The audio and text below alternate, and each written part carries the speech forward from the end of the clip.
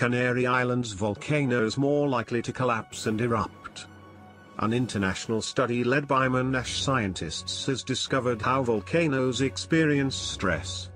The study, published today in Scientific Reports, has implications for how the world might be better protected against future volcano collapses.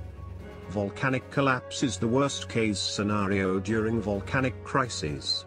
It can trigger dangerous tsunamis or devastating pyroclastic flows, for example Mount St. Helens.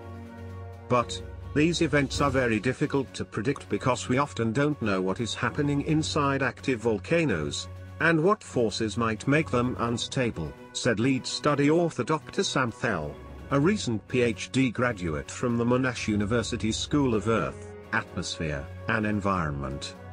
Research on volcano growth helps us to understand these internal processes and the associated forces that could trigger a deadly collapse or eruption, he said.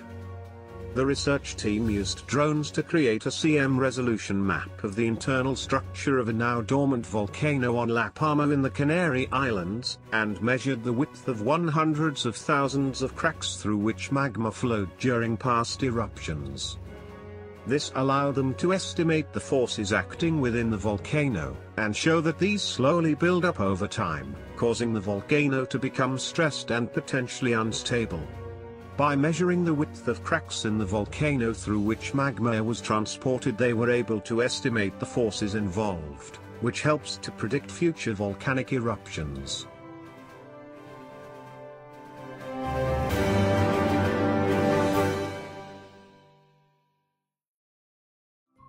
Thank you for watching. Please subscribe to us on YouTube. If you like donate to us visit home on the page PayPal.